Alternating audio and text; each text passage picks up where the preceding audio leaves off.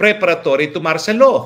At ano naman po kinalaman ng martial law doon sa sinabi ni PBBM na baka i-annex niya ang baka i-annex ng China ang ating uh, teritoryo eh kasi po sa ating saligang batas dalawa lang ang dahilan para magdeklara ng martial law ang presidente.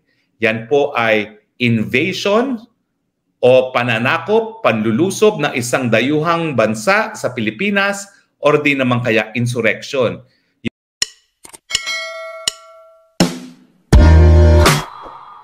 So anyway, ang pinunta ko naman po sa China ay talagang usapin kung paano mapapabuti ang samahan ng Pilipinas at ng China kasi nga po lumalala na yung ay nasa China, eh nasa Germany naman ang, ang ating PBBM.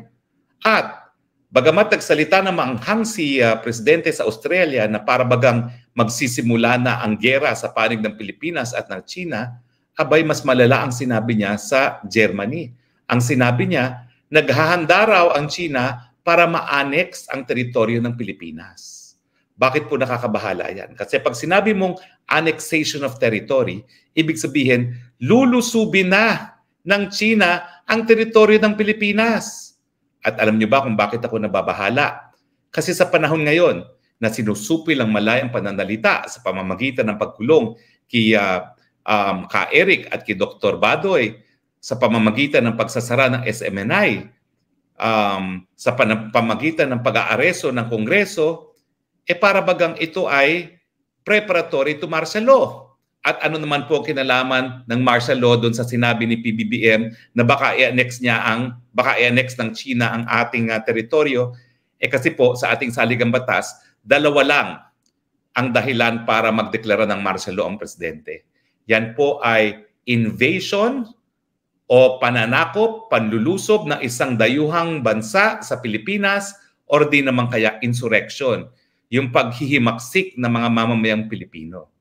Eh di ba kapag sinabi niyang mag-a-annex na ang China ng ating teritoryo, sinasabi niya malapit na ang invasion ng China. At ang nakakatakot po ha, ito po ha, hindi sa ako'y pro-China. Pero ako po'y nag-aral ng international law at ng admiralty law. Dalawa na pong incident ng banggaan ng barko. Pero alam niyo po, hindi ka kinakailangan maging maritime lawyer para malaman mo na yung rules sa karagatan ay pareho ng rules ng kalye. Kaya nga lang, English rule, right-hand drive. Sa right-hand drive po, ang uh, overtake hindi dito sa left sa left sa sa, sa right side.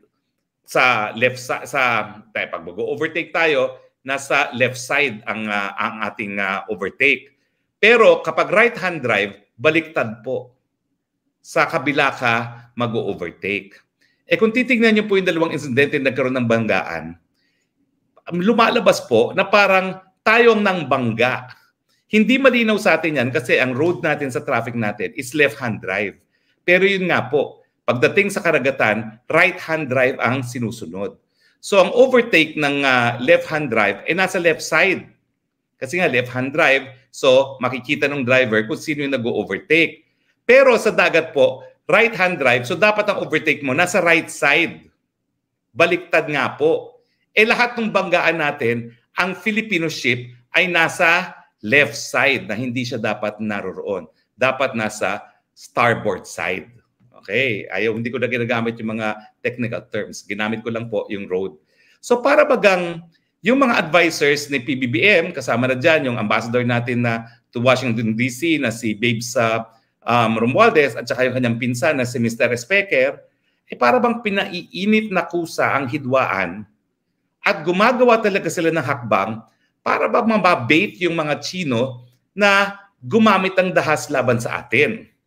Dati-rati, ang iniisip ko lang, eh baka ito ay para nga um, ang Chino ay gumamit pa ng mas maraming dahas, tapos magrereklamo sila sa mga Amerikano na halina kayo, tulungan nyo na kami. Meron kaming Mutual Defense Treaty, tulungan nyo na kami. So po pwede pa rin po yun. Kaya lang, ang sinasabi ko sa inyo, nangyari na po yan ng Scarborough Shoal.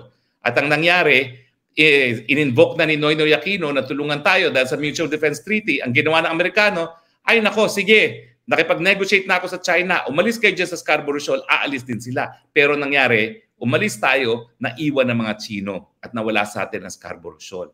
Pero sila ba'y tumulong sa atin? Hindi. Kasi alam nyo naman, ang China ang pinakamalaking trading partner ng Amerika, ang pinakamalaking pinag-uutangan ng Amerika.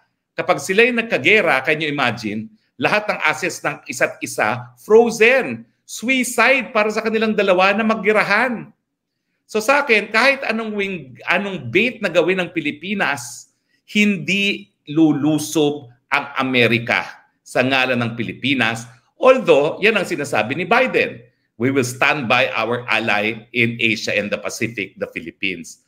Ulul, charot, dahil nangyari na po yan sa ating kasaysayan, noong Scarborough Shoal, hindi naman sila sumaklolo. Pansinin niyo po ah, kaya hindi sila sumaklolo ng mga panahon na yon, ang sinasabi nila, hindi sila um, kumakampi sa agawang teritoryo. Pero ngayon, ang linya nila, kakampi na kami dahil kinakailangan ma-promote ang freedom of the high seas pero come on, sa totoo lang po, una-una, hindi naman sila po pwede makipaggera sa Amerika na walang congressional approval.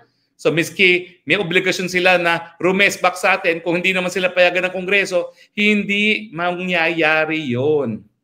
At kung ang uh, kasaysayan ng uh, susundin natin sa Ukraine, hindi sila nagpadala ng sundalo. Nagpadala sila ng armas pero hinayaan nilang mamatay ang mga Ukrainians para sa kanila. At tingin ko, yan ang mangyayari. Hindi sila sasaklolo sa atin, hindi sila magpapadala ng sundalo at mga warships nila, pero bibigyan nila tayo ng mga armas para lumaban ang mga Pilipino. Wika nga ng isang observer, America will fight China until the last Filipino. Pero hindi sila magpapakamatay para sa atin. Gagamitin nila mga Pilipino para labanan ang China. Popondohan nila tayo yung gera nila, pero gaya na nangyari sa Ukraine, pag masyado ng mahal ng gera, iiwan tayo sa ere. Eh nangyari po yan sa Ukraine eh. Huwag niyong sabihin na ako'y anti-American lang. Yan po ang karanasan ng Ukraine. At ngayon po, siyempre, mas ma- matinding possibility pag na naging uh, presidente si Trump, eh talagang wala nang aasahan ng Ukraine. Dahil lang, pero ang mabuti naman yan, kung mananalo si Trump, ang sabi niya, isang araw lang, tatapusin ko na yung gera sa Ukraine. So, mukha namang pag, pag si Trump ang naging presidente, mukhang mas safe sa mga Pilipino dahil hindi talaga siya makikigera dahil ang interest niya ay mga lakal, no? At ang interest nga niya eh paano magkapera, paano tubuan ng mga Chino, hindi manggera. Yan, yan lang po ang tingin ko, no? Pero alam niyo naman ako bilang aktivista by heart, eh, talagang hindi ko akalain na sasabihin ko to tungkol sa isang Republican leaders. Pero mabalik tayo, bukod pa doon sa gusto nilang ma-provoke ang Americans, na tumulong sa atin using the MDT, kaya talagang sila, tayong mga Pilipino ang nagpo-provoke. O bakit pa sinasabi nagpo-provoke? Talaga naman po may agreement na status quo. So hanggang hindi tayo magpapadala ng repair materials sa Sierra Madre, hindi nila pipigilan. Pero nangyari po, kaya tayo nawa water cannon, talaga nagdadala sila ng repair materials. Alam naman nila na kapag may repair, repair materials, talagang hindi tayo papapasukin. Pero paulit-ulit nilang ginagawa. Bakit? Kasi nga gusto nila na talagang uh, ang China maging mas aggressive para pag naging mas aggressive ang China, sasabihin natin, Uncle Sam, tulong, mutual defense treaty. Pero nga po, I doubt kung tutulong si Mutual Defense Treaty ang, ang mga Amerikano, baka mangyari, etong barel, sige, laban mga Pilipino. Oh, kaya nga, ang mantra is, America will fight US to the last Filipino. At siyempre, magiging Ukraine ang Pilipinas. Pero bakit ko naisip ang martial law? Eh kasi nga, dahil doon sa karanasan natin kay Marcos Sr., napaka-stricto ngayon ng saligang batas. Dalawa lang ang po pwedeng maging dahilan sa deklarasyon ng martial law. Panulusob ng isang dayuhang bansa at himagsikan sa Pilipinas.